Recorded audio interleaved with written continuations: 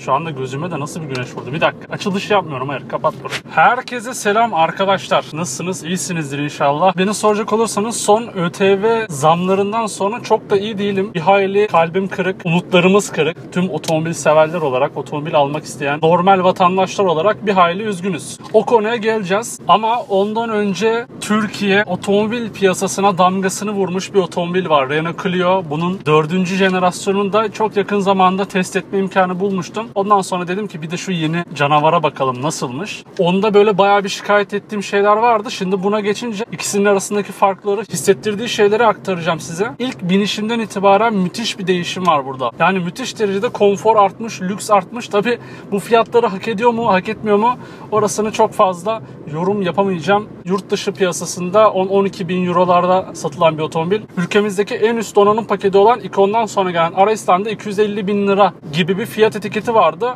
Tabi onda ne kadar çok hak ediyor, hak etmiyor o konuda yorum sizlere ait. Aynen bir önceki neslinde yer aldığı gibi Renault Clio 5'te 3 tane standart donanım paketiyle geliyor. Bunlardan ilki Joy paket, en boş paketi. Onların birazdan hepsini içinde açıklayacağız. İkincisi Touch paket, üçüncüsü ise ikon paket olarak. Bunların ÖTV zammından önceki fiyatlarını da şöyle bir söyleyecek olursak eğer Joy paket 135.900 lirayla alıcı buluyordu. Ben bu videoyu çekerken sitelerine girdiğim zaman fiyatlarda bir güncelleme aldıklarından dolayı güncel fiyat listelerini yayınlamamışlardı. Yayınladıkları zaman eski fiyat yeni fiyat olarak koyacağım. Bizim şu anda test aracımızın da bulunduğu taş paket ise 162.900 lira. Fiyat etiketiyle kendini alıcı buluyordu. Birazdan hepsini böyle benim gözüme hoş gelen yerlerinde sizlerle beraber paylaşacağım. Ve en üst pakette yer alan ikon donanım ise 176.900 lira gibi bir fiyat etiketiyle alıcı buluyordu. ÖTV düzenlemesinden önce. Clio 5 ile beraber aslında motorlar da değişmiş. Benim o bir önceki Clio'da eleştirdiğim 0.9 motor gitmiş. Onun yerine 1 litrelik motorlar gelmiş. Bu arada tabi dizellerde herhangi bir motor değişikliği yok. Bizim yine ömürlük 1.5 dizelimiz Clio 5'te de yer almaya devam ediyor. En düşük motor hacmi olarak 1.0 TC yani atmosferik 75 beygirlik versiyonu yanında aynen 1 litrelik motorda turbo TC'ye desteğiyle beraber 100 beygirlik bir motor seçeneği var. Bir de bunun üzerine marka Xtronic adını verdiği CVT şanzıman yani dişli sistemi olmayan onun yerine sonsuz dişli olarak adlandırılan şanzıman tipiyle bu otomobile sahip olabilirsiniz. Orada da hatta şöyle bir dipnot verebilirim yani. Markalarda şimdi belki diyecek olabilirsiniz ya CVT'de nasıl vites yok? 7 vites diyorlar, 7 ileri otomatik diyorlar falan. Orada aslında biraz daha müşterilerin daha kolay anlayabileceği bir dilde anlaşılır olabilmesi ve aslında mantığını müşterilere biraz daha kolay kabul ettirmek için her vitese bir oran belirleniyor. Bu sonradan aslında belirlenen bir oran. Bununla beraber CVT şanzımanda aslında biz işte 7 ileri diyoruz, 8 ileri. Aslında hani bundan belki 10 sene sonra diyecekler ki ya 15 vitesli otomobil yani 15 ileri vitesli otomobil. Buradaki oranları tamamen değiştirerek, dengeleyerek böyle bir ayarlama yapabiliyorlar. Bir üst versiyonda yer alan taç donanımına geçtiğimiz zaman ise 1.0 turbo 100 beygirin yanında bizim de test aracımız olan 1.3 litre 90 beygir ve 130 beygirlik versiyonlarına ulaşabiliyorsunuz. İkon versiyonda ise yine aynı motor seçenekleriyle otomobile sahip olabilirsiniz. Şimdi ben bir önceki nesliyle bu nesli karşılaştırmak istiyorum. Hatırlarsınız eskiden Clio dendiği zaman akla özellikle benim favorilerimden bir tanesi Clio 2'dir. Böyle çok ufak otomobiller gelirdi. Yani bayağı ufak. Tamamen böyle şehir içi odaklı otomobiller gelirdi. Clio 4 ile ben bunu eleştirmiştim hatta. Polo ile beraber kıyaslamıştım. Ve o kıyaslama sonucunda ya Polo'dan daha büyük ama işte daha ufak.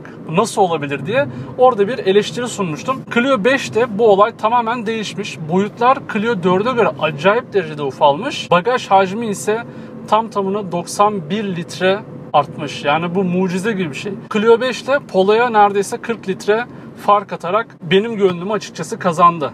Clio 5 önceki nesline göre 4050 mm uzunluğuyla 12 mm daha da kısaldı. Dingil mesafesi olarak ise 2583 mm ile 6 mm daha kısa. Arkadan ise önceki nesline göre 12 mm daha kısa. Asıl fark önden baktığımız zaman geliyor. Tam tamına 147 mm daha kısalmasına rağmen dingil aralığı olarak 3 mm daha da genişlemiş. Bu da aracın yerdeki iz düşümünü biraz daha arttırmasına neden oluyor ve yol tutuşunda müthiş derecede de katkı sağladığına eminim. Sürerken de bunu hissediyorsunuz. Ben test sürüşü yaptığım süre boyunca bu otomobilden gerçekten acayip derecede zevk aldığımı söyleyebilirim. Performansı yani 0.9'luk o ölü motordan sonra ilaç gibi geldi. Şimdi biz Megan videosunu da çektik. Onu daha editlemedim. O daha edit aşamasında. Yani Megan mı bu mu? Ben arasında kaldım. Şimdi ben normalde sedan otomobillere biraz daha böyle gönlümde yerleri başkadır. Yani daha büyük durur, heybetli durur. Yolda daha fazla söz hakkına sahiptir. O yüzden biraz daha böyle sedan otomobillere karşı daha fazla yatkınlığım var ama bir hatchback olarak özellikle de ufak sınıfta yer alan hatchback olarak Clio 5 benim gönlümde bir üst sıraya da yükseldi. Merak ettiğim otomobiller var tabii yine aynı segmentte. Özellikle Opel Corsa'nın son kasasını çok merak ediyorum. Tasarımsal olarak da sanki böyle yolda gördüğüm zaman özellikle arkadan bir Clio mu acaba bu ya da Clio'nun çizgilerini anımsatıyor gibi böyle bir ikileme düşüyorum. O ikilem de açıkçası beni biraz memnun ediyor. Biraz da aslında hani aynı yöreden çıkma biliyorsunuz Opel PSA'ya satıldıktan sonra artık bir Opel Alman otomobili diyemeyiz ki her ne kadar reklamlarında halen daha Alman vurgusu yapılsa da. Şimdi biraz otomobillerin böyle farklarından bahsedeyim. Yani mesela 3 dedik ya 3 tane farklı donanım var. Bu donanımların arasında nasıl farklar var? Yani biz dışarıdan baktığımız zaman bu farkları nasıl anlayabiliriz? Joy donanım dışarıdan baktığımız zaman aşırı derecede basit gözüküyor. Üst donanım paketlerinde bütün krom kaplama olan yerlerin hepsi plastik, gri plastik ve fakir plastik. Yani bu kalitesiz plastik hissi veren o renkle beraber geliyor. İçeriye baktığımız zaman yine her yer ölü plastiğine bezenmiş halde geliyor. Çok fazla hani onu nasıl bir amaçla satın alabilirsiniz? Çok fazla donanım takıntım yok. Sadece bineyim gideyim dersiniz. Böyle bir otomobile sahip olabilirsiniz evet. Ama onun haricinde bana hiç hitap etmeyen bir donanım seviyesi. Dışarıdan baktığımız zaman bir diğer böyle gözümüze çarpan şey ise jantların 15 inç boyutunda olan plastik kapak. Yani orada da plastiğin aslında şöyle de diyebiliriz yani ağırlıklı olarak plastik bir otomobil satın almış oluyorsunuz eğer Joy paket satın alırsanız. Bu arada tabii her şey manuel. Arka cam mekanizması manuel, klimalar manuel, her şey manuel geliyor. Bu orta kısımda etrafı tuşlarla çevrili. Ortasında da bir radyo ekranı var. Ama tabii her yerin plastik olmasının yanında yokuş kalkış desteği, Isofix bağlantıları gibi artıları da mevcut. Onları da yok saymayalım ki bu fiyatlara onlar da olsun diyoruz yani bir zahmet. Bu arada benim ikon pakette çok hoşuma giden bir özellik var. Bu orta konsol böyle biraz daha yüksekte konumlandırılmış halde geliyor. Tabii böyle bir otomobilde manuel vites tercih eder misiniz bilmem ama manuel viteste bence çok büyük bir kullanım zevki sunar. Vitesin biraz daha yüksekte oluşu. Ha bu arada paketleri atlamadan taç paketi anlatırsak Joy'un bir üstündeki ve bizim de test aracımız olan paketi anlatırsak burada kadranlar kırmızı, beyaz yine bizim sevdiğimiz renklerden oluşan kadranlar var. Orta tarafta ufak bir TFT renkli bir yol bilgisayarı mevcut. Burada dokunmatik 7 inç bir multimedya ekranı geliyor. Altında da diğer aslında Fransız gruplarından alışık olduğumuz piyano tuşlarını andıran tuşlar geliyor. Tabi burada birkaç tanesi boş. Oraları da ekleyeceğiniz opsiyonlarla doldurmanız mümkün. Touch pakette de bir kol dayaması yok. Bence bu pakette kol dayaması olmalıydı. Çünkü dışarıdan baktığımızda aslında birçok farklılık varken Joy'a göre bence bir kol dayamasını da hak ediyordu. Özellikle uzun yollarda kol dayamanın eksikliğini çokça hissediyorsunuz. Onu da opsiyonlar listesine atmışlar. Her opsiyonda biraz daha fazla ücret herhalde ödememizi istedikleri için. Vitesin ön tarafında gayet derin ve kullanışlı bir alan var. Burada zaten iki tane USB bağlantısının yanında AUX çıkışı var. Bunun da bence konumu çok güzel. Bu açıdan gayet kullanışlı olduğunu söyleyebilirim. Onun üst tarafında yine manuel klima kumandalarına yer verilmiş. 3 donanımda da aynı yerde yer alıyor. Tasarımları aynı. Sadece ikon donanım seviyesinde otomatik klimalara da yer veriliyor. Taş versiyonda 15 inç olan jant kapaklarının yerine 16 inçlik alüminyum alaşım jantlar geliyor. Onun yanında benim çok beğendiğim bir özellik bu otomobile sonradan eklenmiş opsiyonlardan bir tanesi. Direksiyon arkasında vites kulakçıkları da var. Bu, bu biraz da işe performans odağı katıyor. Ne demiştik? RS Line versiyonu var. Bu 3 donanım paketinin de en üstünde yer alıyor. RS Line diyebiliriz. RS eski Renault Clio RS'leri belki bilenler bilir. Özellikle ikinci jenerasyondaki o ortadan motorlu versiyon benim dream carlarımdan bir tanesi. Tabi ondaki hissi yaratması imkansız. Yani 1 litre otomobil 100 beygir çok fazla tabi o hissi yaratması konuşulamaz. Tabi orada ne geliyor? Şu anda bu direksiyon ortasındaki boş olan kısımda Renault Motorsport'un logosu yer alıyor. Klima çizgisi boyunca kırmızı renkte bir şerit geliyor. Dışarıdan baktığımız zaman da böyle ufak tefek aksesuarlarla RS Line olduğunu belirtiyorlar. Tabi onun fiyatı da çokça bu ÖTV zammından sonra da baya bir gündem oldu. Zaten çokça gündem olan bir otomobil Clio. Sevilip kullanılmasının yanında fiyat olarak da çokça eleştiriliyor. Ki eleştirilerde haklılardır, haksızlardır. Bu konu hakkında artık ben yorum yapmaktan hem sıkıldım hem bıktım. 256 bin lira gibi bir fiyat etiketine sahipti RS Line donanımı. Arka koltuklarda durum ne? Şimdi dedik ki yani 391 litreye çıktı bagaj hacmi. Araba ufaldı ama yaşam alanı büyüdü. Arka koltuklarda ne, durum ne? Şimdi gelin bir de arka koltuklara gidelim. Arka kısımda bir önceki nesline göre kalite istedilir derecede artmış. Bunu arka tarafa ilk oturduğunuz anda hissediyorsunuz. Baş mesafesi ideal diyebileceğim seviyede. Diz mesafesi de ön koltuk bana ayarlıyken gayet yerinde. Burada uzun yolculuklarınızı rahatça yerine getirebilirsiniz. Arka koltuklardan sonra ise sürüş zevkini bana hissettirdiklerini biraz daha anlatayım size. Şu an kullanmış olduğum otomobil 1.3 litre turbo 90 beygir bir otomobil ve gaza bastığınız zaman şu şekilde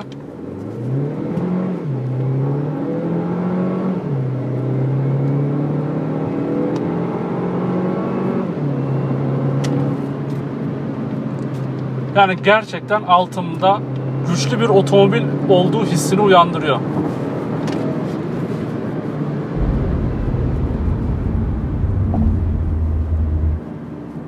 Turbo gecikmesi yaşamıyorsunuz. Bunun yanında bir de o vites kulakçıklarıyla beraber şöyle dokunmalara anında tepki verebiliyor diyebilirim. Bu performanstaki bu otomobilden beklenmeyecek. Bir performans sergilediği kesin bu konu hakkında iyi de öldür, hakkını yeme prensipleri doğrultusunda hakkını yemiyorum. Gerçekten kokpite bayıldım. Tasarımı çok güzel. Özellikle yeni bir otomobil algısını gayet size veriyor. Abilerine çok fazla benziyor. Tabi bunun da getirmiş olduğu bir artı var. Bu arada şöyle mesela klimayı ben komple kapatayım. Az önce çünkü size klimanın uğultusu geliyordur büyük ihtimalle mikrofona. Yani içeride çok ufak derecede bir hissiyat var. Özellikle ayaklarımı yere koyduğum için ayaklarımdan gelen bir titreme var. Yani onu hissediyorum. Ama onun dışında çok fazla tabii mesela içeride konuştuğum zaman da o yalıtım sesini biraz daha alıyorsunuz. Güzel bir otomobili incelerken aklımda her zaman ÖTV, fiyatlar, zamlar geçiyor, geçmiyor değil. Ve bu fiyatlar nereye gidecek o konuda da hiçbir fikrim yok. Yani her sene fiyatlar giderek artıyor. Alım gücü de onunla doğru orantılı olarak azalıyor. Bu düzeylerdeyken de yeni bir otomobil sahibi olmak biraz daha hayal gibi oluyor. 30 Ağustos'ta gelen ÖTV düzenlemesinden sonra şöyle biraz daha internette forumları karıştırdım, yorumlara baktım, tepkilere baktım ve hafta sonundan önce otomobili almak için anlaşan insanlar zamdan sonra 40 bin lira, 45 bin lira zarara uğramışlar. Yani tek bir gecede 40 bin liraya yakın alım gücünde azalma, 40 bin lira daha masraflı bir şekilde halindeki otomobillere sahip olacaklardı. Yani bir Passat'ın milyon liralık fiyat etiketine sahip olmasına herhalde şurada 1-2 ÖTV düzenlemesi daha kaldı. Ya ben 2016 yılında yanlış hatırlamıyorsam Mercedes E180 yani Mercedes'in ülkemiz için çıkarmış olduğu düşük hacimli E serisi 130 bin lira bandındaydı ki benim de çokça böyle kadrajımda olan bir otomobildi. Piyasası ne olur ne biter çünkü hem bir E serisi ve düşük hacimli bir E serisi. Acaba dediğim otomobillerden bir tanesiydi ve çokça hayalini kurduğum otomobillerden bir tanesiydi.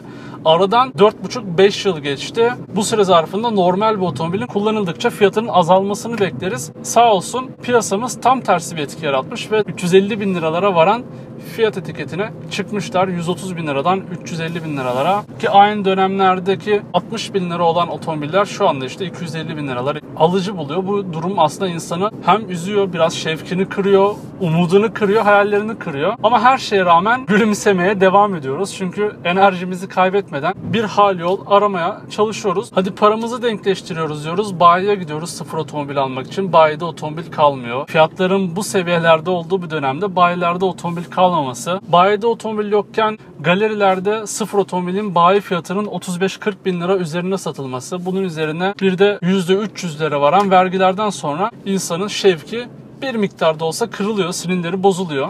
Neyse böyle biraz da dertleşmiş de olduk. Hem yeni Clio'ya da bakmış olduk. Son yorumda ben çokça beğendim bu otomobili. Gerçekten kılçıksız, sorunsuz, hatasız, sahibinden çok güzel bir otomobil olmuş. Eğer imkanınız olursa ben test etmenizi kesinlikle öneririm. Test ettiğiniz zaman da ne demek istediğimi gayet iyi anlayacaksınız. Ben normalde beğendiğim şeyi sevdiklerime, çevreme tavsiye ederim. Eğer beğenmiyorsam da tavsiye etmem. Onu tam tersi almaması için, bulaşmaması için uyarırım. Bir önceki nesilde gerçekten çok fazla hak ettiğini düşünmüyordum yani o itibarı, o seviyeleri fiyat olarak da. Ama bu otomobil gerçekten tam anlamıyla olmuş diyebiliyorum. Bir sonraki videoda görüşmek üzere diyorum. Kendinize bakın, sağlıcakla kalın. Bay bay.